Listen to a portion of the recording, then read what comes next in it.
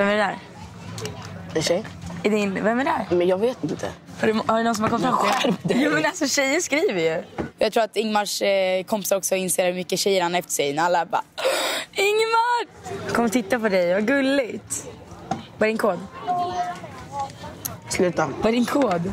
Jag tror att det är ändå typ lite tjejer som följer mig på Instagram och sånt. Jag vet inte. Då kan alla brudar komma och kolla hur duktig.